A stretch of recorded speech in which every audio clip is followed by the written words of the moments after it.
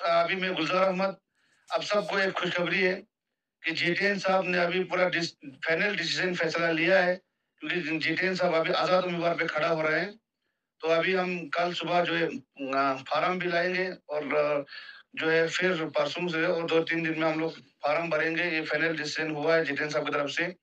और जितने भी जीटेन साहब का फ़ैन फॉलोअर है, पूरा लद्दाख के अंदर, जास्कर, कारगिल, द्रास, बटाली, अनु, दर्शिक और धांग और तुर्तुक नुब्रा और हल्ले समुरी पेंगोंग, जितने भी इलाके हैं हमारे चंथन से, पूरे चंथन इलाके से, और ले सिटी में जितने भी जेटेन साहब के फॉलोअर हैं, उन सब तक ये मैसेज है कि जेटेन साहब जो है, आज़ाद उम्मीदवार पे अपना फार्म भराएँगे।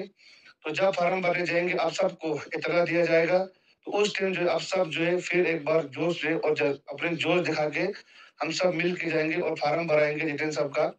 तो तब तक आप लोग सिर्फ़ कल के दिन का इंतज़ार कीजिए क्योंकि बस कल जो है हम जितेंद्र साहब का फार्म भरम लाएँगे और हम सब जब फार्म भरने जाएँगे तो अब सबसे फिर हम रिक्वेस्ट करेंगे, उस टाइम पे आप लोग जो है यहाँ पे तशरीफ़ लाइए।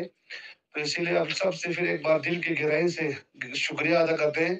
आप सबकी प्यार से, मोहब्बत से और आप सबकी जोश से जो और अभी जितेंद्र साहब ने बिल्कुल फाइनल डिसीज़न लिया है कि आज़ाद उम्मीदवार पे हम लोग लड़ेंगे।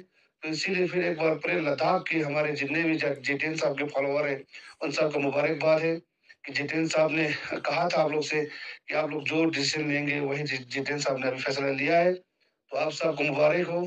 तो जब भी आप फार्म भरने जाएँगे, तब आप सबको फिर एक बार इतला दिया जाएगा। तो आप सबसे रिक्वेस्ट है कि उस टाइम आप लोग फार्म भरने के लिए, जितेंद्र साहब के सपोर्ट के लिए आप लोग आएँगे, बोल के हम बताएँगे। तब तक के लिए आप सबको शुक्रिया। धन्यवाद।